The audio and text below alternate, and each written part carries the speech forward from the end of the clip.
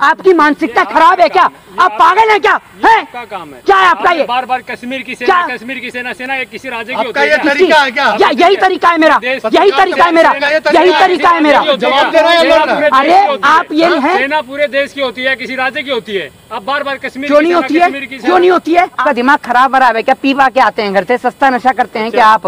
हैं? आप आप किस तरीके के पत्रकार हैं? आज आपके अंदर अगर दम है तो सामने आ जाइए। चलिए आइए आज सामने। आप बताएँ बताएँ। अरे सामने आइए ना। सामने फिर करेंगे ना। सुन लीजिए पीछे से ना ये पीछे से जो जिस तरीके से आपने देखा होगा स्ट्रीट डॉग जिस तरीके से भौंकने का काम करते हैं ना आप लोग उससे कम नहीं आज के समय में। बजट की सराहना किस कार्य को लेकर हो रही है? पहले आप मुझे ये बता दीजिए।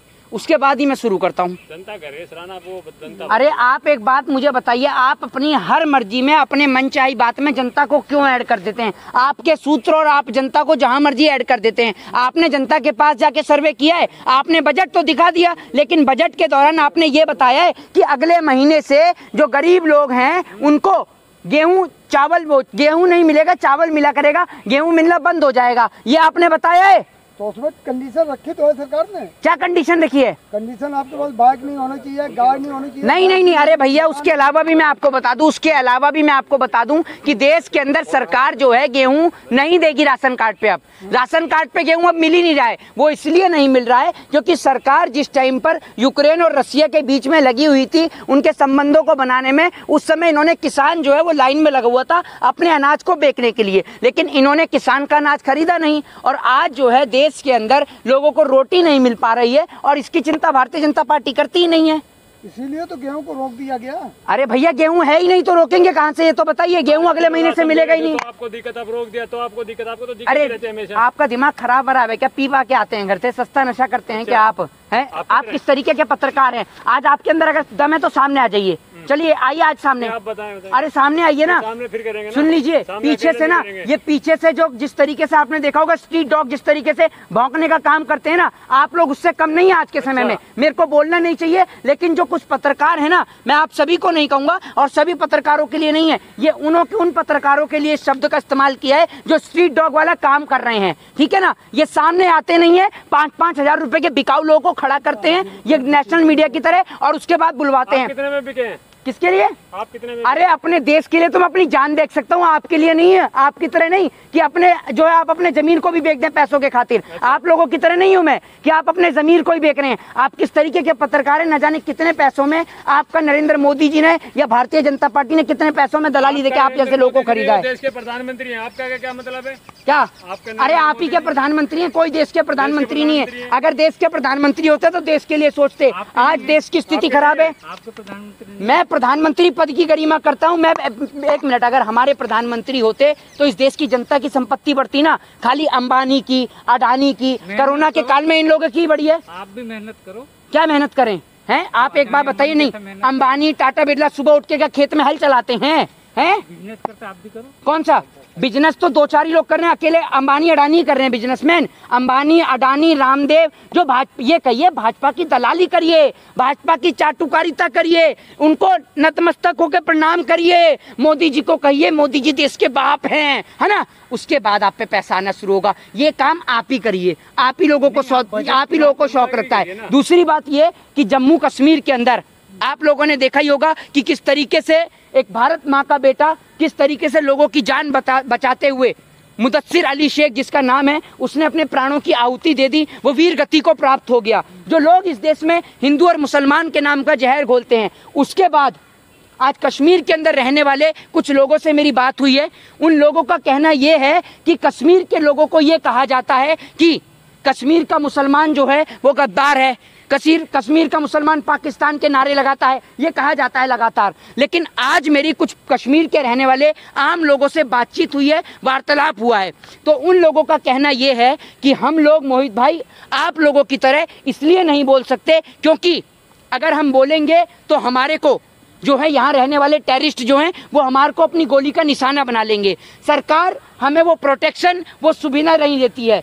यहाँ पर ना कोई मॉल है, ना सिनेमा हॉल है, ना ही कोई मनोरंजन के कोई साधन है। ना तो वहाँ पर आपको कोई फ़िल्म स्टूडियो दिखता है, आप देख लीजिए।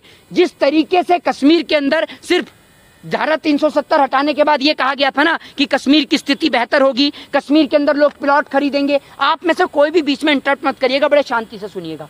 कश्मीर के रहने वाले आम नागरिक से मेरी बात हुई है। तो उन्हों का कहना ये है कि मोहित भाई, अगर मान लीजिए कि हम अपनी एजुकेशन लेने के लिए कश्मीर छोड़कर दिल्ली आ जाते हैं और दिल्ली में आकर हम अपनी बात को रखते हैं कि कश्मीर में इस तरीके का माहौल चल रहा है। वो कह रहे हैं कि कश्मीर का एक भी नागरिक कभी भी पाकिस्तान के साथ नहीं जाना चाहता, क्योंकि पाकिस्तान एक बर्बाद मुल्क है। आज पाकिस्तान की स्थिति इतनी खराब है कि पाकिस्तान का रुपया तेज़ी से नीचे गिर रहा है। पाकिस्तान के साथ कभी भी कश्मीर नहीं मिलना चाहता। कश्मीर के रहने वाले, ये कश्मीर के कुछ मुसलमान भाई भी हैं, कुछ कश्मीरी पंडित हैं, जो वहाँ धरने पर बैठे हैं, उन सबसे बात हुई है। ये जो मैं आपको बता रहा हूँ, ये कश्मीर के मुसलमानों ने कही है कि हम लोगों को ये कहा जाता है कि आप लोग बोलते नहीं हैं। असल में हम चाहते हैं कि कश्मीर जो है, उसको भारत का ही हिस्सा बनाए रह जाए। हम पाकिस्तान में कभी नहीं मिलना चाहते। सरकार हमें प्रोटेक्शन दे, हमारे बच्चों को प्रोटेक्शन दे, हमें सेफ्टी से रखे। दूसरी बात ये कि सरकार यहाँ पर मनोरंजन के साधन खोले सिनेमा हॉल खोले मॉल खोले, जिस तरीके से हर जगह होते हैं। अगर यहाँ पर सिनेमा हॉल खुलेंगे, मनोरंजन के साधन खुलेंगे तो सीधी तौर पे जो बच्चे आज जिनके अंदर जहर घोला जा रहा है। आज छोटे छोटे बच्चों के मन के अंदर वहाँ जहर घोला जाता है कि भैया, हिंदुस्तान के अंदर आपके साथ ये हुआ, वो हुआ। वहाँ के रहने वाले लोग आर्मी से बेहद प्रेम करते हैं। लेकिन कुछ लोग, वहाँ पर ऐसे लोग हैं जो सिविलियन के बीच में आते हैं। सिविलियन के बीच में आते हैं और वो टेररिस्ट होते हैं। ये मैं आपको कश्मीर की बता रहा हूँ। कश्मीर के लोगों से ही आज मेरी बातचीत हुई है। तो वो लोग जो हैं वो टेररिस्ट होते हैं। जी? तीन सौ सत्तर हटने के से पहले वहीं के लोग सेना पे पत्थरबाजी करते मैं आपको यही बता रहा हूँ। तो यही मेरा सवाल था जो आपने सवाल किया। मैंने ये कहा कि आप लोगों के लिए एक मेमोरेंडम कहा जाता है कि कश्मीर के लोग तो भारतीय सेना के ऊपर जो है पत्थरबाजी करते हैं। तो उन्हों का कहना ये होता है कि मोहित भाई हम लोग कभी भी कश्मीर की आर्मी पर जम्मू कश्मीर की आर्मी पे हम कभी भी पत्थरबाजी नहीं करते, हम कभी भी बीएसएफ पे पत्थरबाजी नहीं करते। तो मैंने कहा, ये जो फुटेज आती हैं, ये जो वीडियोज़ आती हैं कहाँ से आती हैं?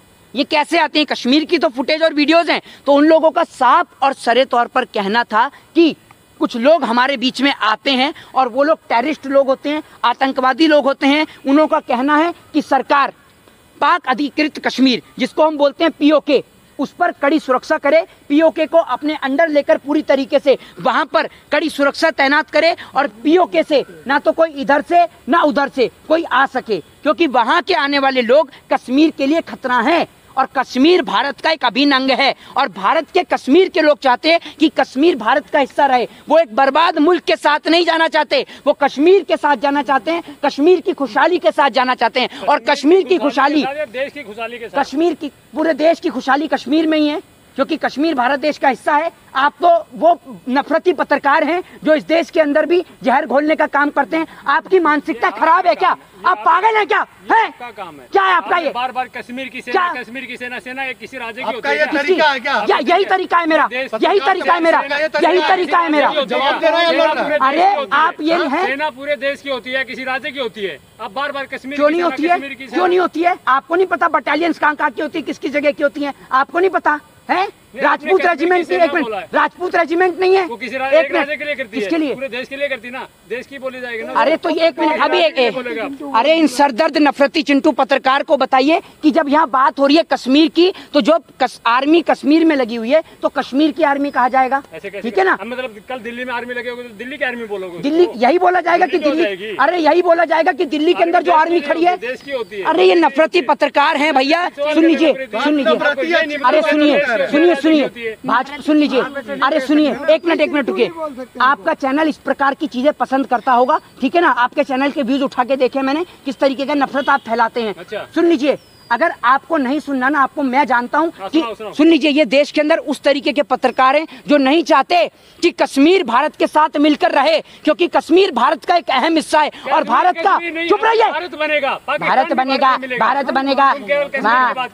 मनोहर लाल खट्टर के ये मिल गया मनोहर लाल खट्टर का चेला। मनोहर लाल खट्टर बोल रहे हैं ना कि वहाँ भाजपा वहाँ तक पहुंचेगी। ये मनोहर लाल खट्टर का चेला। कह रहा है कि क्या कहते हैं अब जो पाकिस्तान तक पहुँचेंगे। पाकिस्तान का हमने टुकड़ा कर दिया। पाकिस्तान से हमें लेना देना नहीं है। पाकिस्तान से आपके घर में भी बिरयानी पहुँचती होगी क्योंकि मोदी जी से संपर्क करने वाले हर एक आदमी के पास पहुँचती है बिरयानी। और सुन लीजिए सुनना है तो बड़े शांति के साथ सुनिए ठीक है ना? आप ये देश में जो नफरत का जहर घोलते हैं ना कश्मीर का आज हर एक आदमी चाहता है कि जिस तरीके से भारत के तमाम राज्यों में खुशहाली है कश्मीर में भी खुशहाली रहे वहाँ इंटरनेट इंटरनेट के जो साधन हैं वो अच्छी तरीके से उपलब्ध कराए जाएँ वहाँ पर सिनेमा हॉल खोले जाएँ वहाँ मॉल खोले जाएँ वहाँ पर इंटरटेनमेंट के साधन हों ताकि वहाँ का बच्चा भी जो है, वो एजुकेशन की बात करे, अपने मनोरंजन के लिए सिनेमा हॉल देखे। और ये लोग, कुछ लोग जो आपको बता दूँ, जो इस तरीके के नफरती पत्रकार जैसे लोग हैं, वहाँ पर कुछ लोग आते हैं, नफरती लोग। वो नफरती लोग आकर कहते हैं, चुप रहिए, पहले कान खोलकर सुनिए, वरना इस तरीके का इंटरव्यू अपना बाहर जाके करिए। आप इनको बाहर निकालिए। सुनिए तो आप मेरी बात को सुनिए तो कुछ नफरती लोग, अरे चुप रहिए चुप रहिए, अरे चुप रहिए, चुप रहकर सुनिए, ठीक है ना, चुप रहकर सुनिए। ये जो नफरती लोग जो हैं, ये नफरती लोग आते हैं और आकर वहाँ पर कहते हैं कि भैया, इस्लाम के अंदर टीवी नहीं लिखा है। इस्लाम के अंदर सिनेमा हॉल नहीं लिखा है। जबकि पाकिस्तान के अंदर तो बॉलीवुड की, पाकिस्तान में शूटिंग भी होती है, पाकिस्तान में सिनेमा हॉल भी चलते हैं, लेकिन वो पाकिस्तानी लोग वो पाकिस्तानी लोग हमारे कश्मीर में आके हमारे कश्मीर के लोगों को बरगलाने का काम करते हैं। लेकिन कश्मीर का आज हिंदू मुस्लिम सिख ईसाई एक है और सरकार से गुहार लगा रहा है। और हम इस मामले में सरकार के साथ खड़े हैं कि सरकार कश्मीर को लेकर चुप रहिए नफरती लोग। अरे नफरती लोग चुप रहिए नफरती चिंटू चुप रहिए। कश्मीर को लेकर कश्मीर को लेकर मैं इनके सवाल का कोई जवाब नहीं दूँगा। आप चिल्लाइए। कश्मीर के लोग, सुन लीजिए, कश्मीर को लेकर अगर सरकार कोई एक्शन उठाती है तो हम भी आज देश की सरकार के साथ खड़े हैं और उसके फैसले के साथ खड़े हैं। क्योंकि हम भी चाहते हैं कि पूरे मुल्क की तरह कश्मीर में भी अमन चैन और शांति रहे।